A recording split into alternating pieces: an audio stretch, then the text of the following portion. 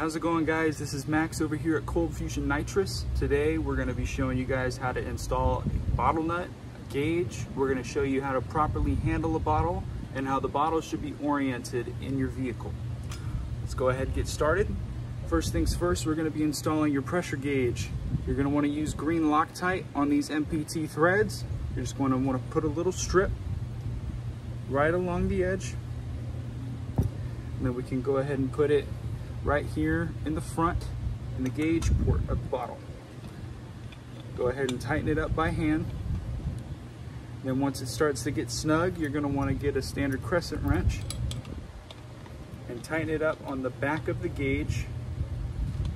You do not want to torque it down on the gauge portion of the gauge itself. That can cause it to break off. That would not be fun.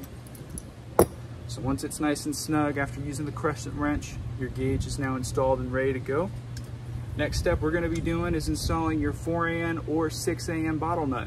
If you have a 4AN feed line, this is gonna be the 4AN bottle nut. This is the one you're gonna use. If you have a 6AN feed line, you're gonna be using a 6AN bottle nut.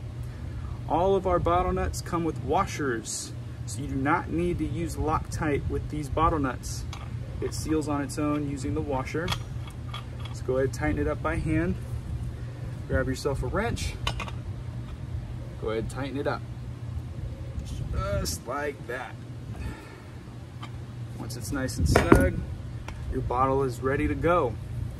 Now the next thing we're gonna be showing you guys how to do is how to properly carry and handle your bottle. You do not want to lift up on the gauge itself. That'll cause it to break off. You do not want that to happen. What you want to do is grab it on this side or in front, but better from this side, and pick it up on the NHRA blow-off fitting and your bottle nut. That is the proper way to carry your bottle. All right, you guys, the next thing we're gonna be going over is how your bottle should be oriented in your vehicle. So you're gonna wanna have some bottle brackets and you wanna have the bottle downward at an angle like this with the blow-off fitting facing upwards.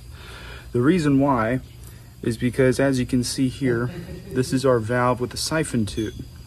The siphon tube is bent so that way whenever it is in your car and put at this angle, all of the nitrous is gonna be down here at the bottom of the bottle.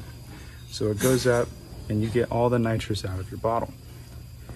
Just make sure that this blow off fitting is facing upwards and you have these bottle brackets staggered like this. So this side is higher than this side.